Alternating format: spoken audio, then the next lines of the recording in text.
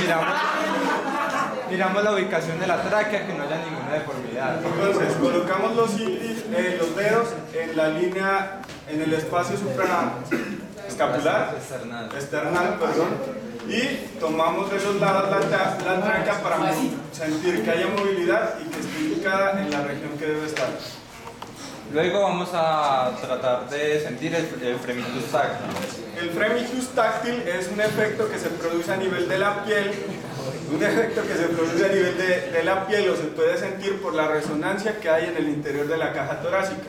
Entonces le pedimos que diga 33. 33, por favor.